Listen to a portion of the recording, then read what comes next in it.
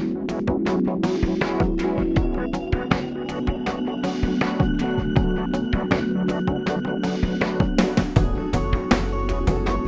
the director of the uh, National Renewable Energy Laboratory, the principal government facility uh, that is representing efficiency and renewable energy, uh, I have my phone started ringing as soon as the uh, the Gulf uh, oil uh, events started to occur with the explosion and the fire and and all of the things that went along with that.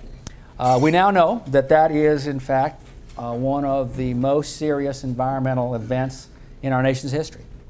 Um, for several weeks, uh, in fact, months now, I've been hearing question after question. I'm getting emails. You know, a lot of discussion around a uh, couple of a couple of uh, discussion points, if you will, or questions that we've been asking for a long time. First of those, first of those points that I hear a lot is, so we're addicted to oil, and uh, you know it seems to be getting worse. And along with that comes the question so, is there realistically anything that we can do about that in either the short term or the long term? And that's the question that gets, gets being asked. Um, there are those, there's a bunch of folks who will say, you know, we've built a really, really deep hole. Uh, no pun intended. Uh, and it really, it's the challenges that we have for ourselves are enormous. And even if we wanted to, it's just really too difficult to get out of those. Okay, so that's one school of thought. There's another school of thought that's focused on, you know what? It's been too long. Let's just turn off the oil spigot and solutions will magically appear and we'll solve the problems and things will go on. Right? What my 30 plus years now, uh, 35 to be exact, uh, in the business indicate to me is that neither of those assessments are accurate. And in fact, what we find is that they uh, confuse the issue. There's a lot more discussion. It needs to be richer, and uh, we need to be thinking about things very differently.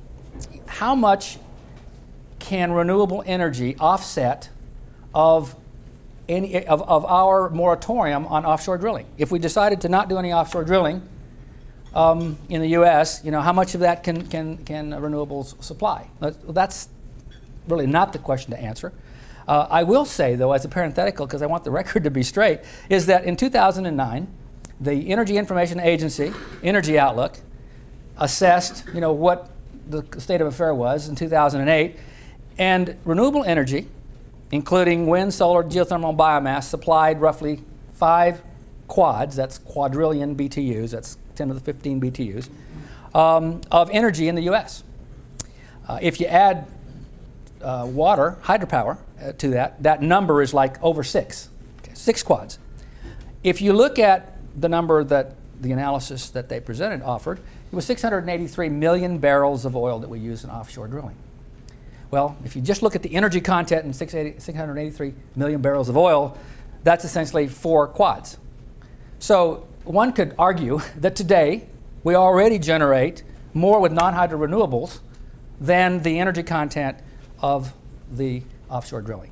So I think we're, it, it's important that we have, uh, we have so many options, and it is important that we have uh, progress being made on so many fronts. Now, some of you know I'm a, I'm a member of the, of the National Science Board. Uh, and last year, over the last two years actually, uh, one of the things that we did, the National Science Board actually, for those of you that are not familiar, oversees the National Science Foundation. And the, these are um, presently appointed positions confirmed by the Senate, and the board kind of acts as a, you know, kind of a, a body that looks like a cabinet level secretary. Uh, and one of the things that we get to do is we get to offer counsel and recommendations to the president and the, um, and the Congress. So one of the things that, that I have been part of the last couple of years is I co-chaired a task force on essentially examination of our energy needs and what should we do as a country. Uh, we called on the best minds around the country. We, went, we marched across the country, starting on the East Coast, ended up in the West Coast, and, uh, and got input from a variety of people. And essentially, the conclusions are not surprising. One of the overarching conclusions is that moving rapidly to a sustainable energy future should be and, and must be a national priority. And in our opinion, it has not been. Uh, there's a number of things that one can, can, can, can focus on, but let's focus on budgets. Just the budgets of the science enterprise, certainly as it relates to energy, is woefully inadequate. And what we've, what we've found is that uh, essentially we've had fits and starts. Um, you know, MRI has been running the, the National Renewable Energy Laboratory. When it started, it was called the Solar Energy Research Institute. So it started in 77. And as, as, uh, as CEO of the, of the lab, I've looked back over the last 30 year history and I've watched the budget cycles do, you know, kind of something that looks like a sinusoid. Well, the fact is that it follows and correlates exactly with oil prices. If you look at, you know, when oil prices are high, the country cares about oil, we're investing, the lab gets budget. As soon as that oil price comes back down, we turn our attention elsewhere, the budgets get cut, the lab budget gets cut, and we just kind of follow that process. So it has not been a serious priority. I mean, that would be the conclusion that one would draw from that, and we see it. We see it in the NREL budget. Uh, thankfully, our, our, budgets these days look uh, look pretty good. Um, so we we uh, we concluded that insufficient to the task, uh, and we're paying for that. We're paying for that in a myriad of ways. Uh, it's it's a safe bet that um, uh, that looking back, many of the technologies that now are kind of four or five years away from my perspective in the laboratory are things that we could have worked on literally 30 years ago and gotten to the same point. We've, we've lost a lot of opportunity.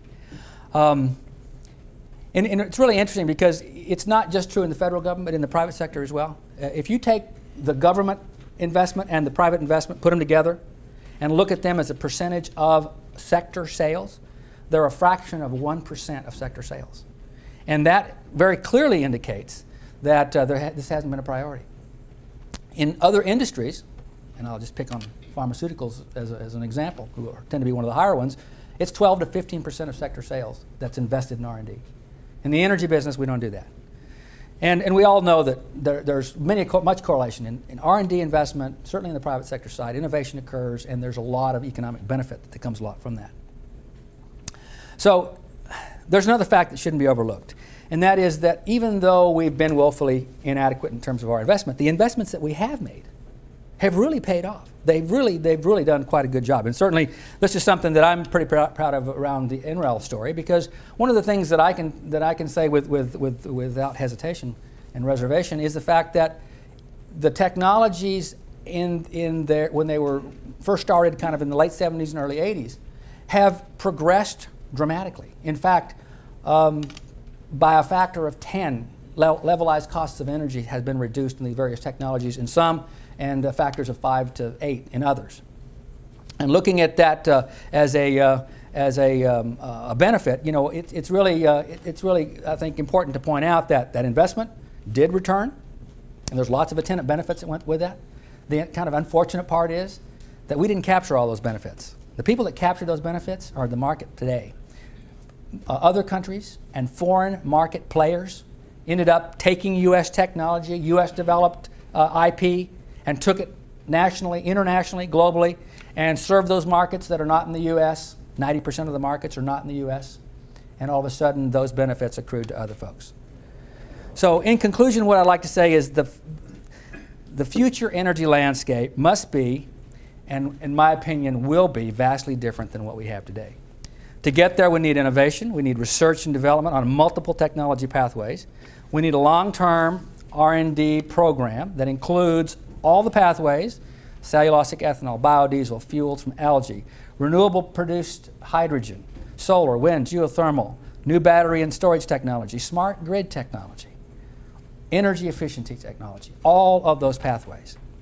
Um, and so my message really is that as we kind of add another voice to the national debate, rather than talking about all of the sacrifices and all of the costs that are, are going to be in terms of changing what we have, which we know is not sustainable, what we really need is more emphasis on developing a comprehensive, forward thinking, and sustainable energy plan with aggressive goals, a focused commitment to get to those goals, because I believe the answer to our dilemma lies in essentially transforming our entire energy infrastructure.